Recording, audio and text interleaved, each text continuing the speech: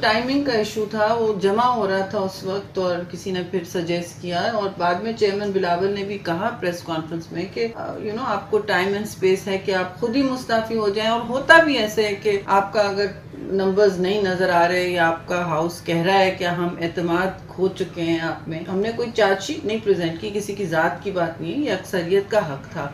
और फिर आपने पूछा बहुत लो दोस्तों ने कि भाई आपने इनको ही बनाया था। तो उस वक्त हमारे साथ दूसरी जमातें थी ना ऑपोजिशन में।